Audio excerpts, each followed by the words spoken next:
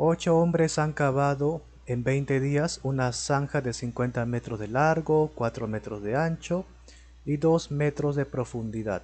¿Cuánto tiempo hubieran cavado la zanja 6 sobre 6 hombres menos?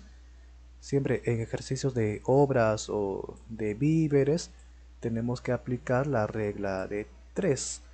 Así que buscamos el primer número, acá está. ¿A qué se refiere el 8? Hombres dice, así que vamos a colocar acá como una especie de título, hombres. Buscamos otro número, acá está el 20, ¿qué se refiere? Días, entonces vamos colocando acá días. Buscamos otro número, 50, ¿a qué se refiere?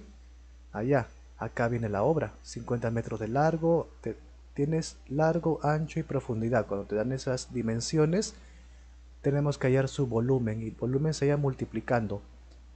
Lo que era de largo, que es 50 por el ancho que es 4 y por la profundidad que es 2. Si te darían solamente dos dimensiones sería un área de terreno, sería multiplicación de dos números, pero como hay tres acá, volumen. 50 por 4 es 200 y por 2 sería 400. Listo. Entonces, esto que vendría a ser la obra, ¿verdad? Listo, los datos acá. 8 hombres, en 20 días han cavado 400 de volumen de esa obra. ¿En cuánto tiempo, o sea, en cuántos días hubieran cavado esta misma zanja? Dice, ¿verdad? Allá, es la misma, no va a cambiar, sigue siendo 400 entonces. 6 hombres menos, o sea 2. Ya está. Así que, vamos allá. Como dice 6 hombres menos, la resta 8 menos 6, 2.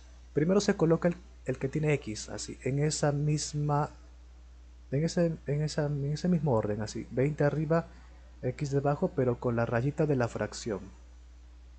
Ahora, ambos, tanto hombres como obras, vamos a analizar con días. A ver, primero hombres acá. Más hombres, ¿demorarán más días o menos días? Eh, menos días porque van a haber más trabajadores, van a trabajar más rápido. O sea, a más esto, menos esto. Es inversa, por eso esto vamos a colocar al revés, 2 arriba y 8 abajo. Si fuera a más esto, más el otro, seguiría en el mismo orden. Ahora, por, porque ahora obra con días. A ver, ahí aunque no es necesario porque cuando acá los números son iguales, no hace falta incluirlos. Hasta acá nomás, ¿de acuerdo?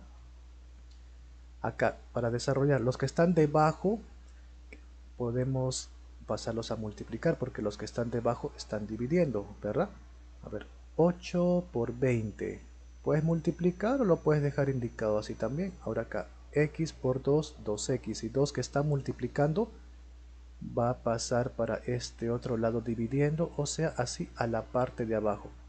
Como arriba hay multiplicación puedes utilizar cualquiera de los que está en la parte de arriba para dividir o simplificar con el 2 de abajo. Por ejemplo, 8 entre 2 es división exacta. 8 entre 2 es 4 y 4 por 20, 80. 80 que X era días, así que 80 días, ¿verdad? Y esa era la pregunta, ¿en cuánto tiempo? En 80 días. Y listo, respuesta final.